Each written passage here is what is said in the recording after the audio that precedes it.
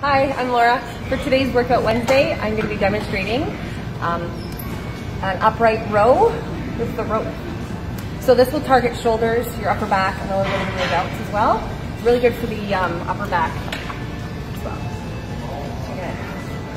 Again, squeezing those shoulder blades together, giving a little bit of a pause, full range of motion with those arms.